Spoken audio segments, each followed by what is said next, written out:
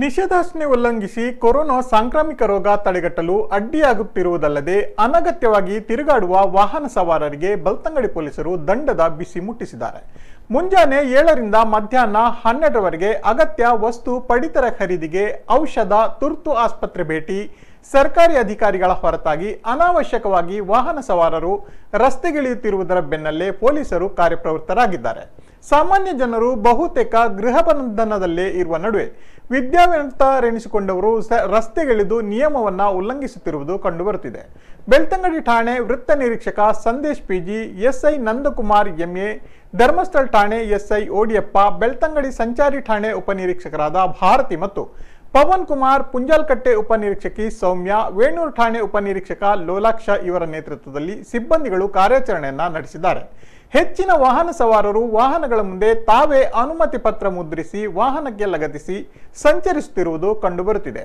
ತಾಲೂಕಿನಲ್ಲಿ ನ್ಯಾಯಬೆಲೆ ಅಂಗಡಿಗಳಲ್ಲಿ ನಿನ್ನೆ ತನಕ ಒಟ್ಟು ಶೇಕಡಾ ನಲವತ್ತೊಂಬತ್ತರಷ್ಟು ಪಡಿತರ ವಿತರಣೆಯಾಗಿದೆ.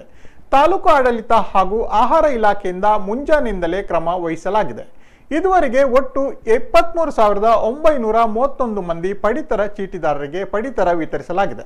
ಮಂಗಳವಾರ ಒಂದೇ ದಿನ ನಾಲ್ಕು ಸಾವಿರದ ಮುನ್ನೂರು ಮಂದಿಗೆ ಪಡಿತರ ಅಕ್ಕಿ ವಿತರಿಸಲಾಗಿದೆ.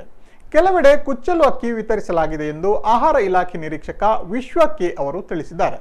ಸಾರ್ವಜನಿಕರ ಅನಾವಶ್ಯಕ ಓಡಾಟವನ್ನು ತಡೆಗಟ್ಟಿ ಕೋವಿಡ್ ನೈನ್ಟೀನ್ ತಡೆಗಟ್ಟಲು ಈ ಕ್ರಮ ಅನಿವಾರ್ಯವಾಗಿರುವುದರಿಂದ ವಾಹನ ವಶಕ್ಕೆ ಪಡೆದು ದಂಡ ವಿಧಿಸಲಾಗಿದೆ.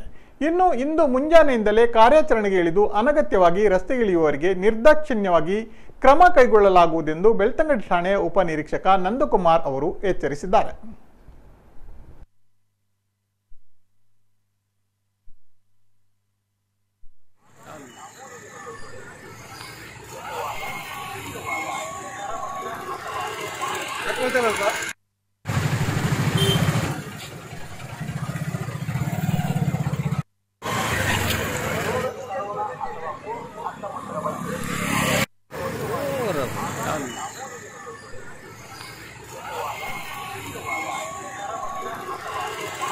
どうたのか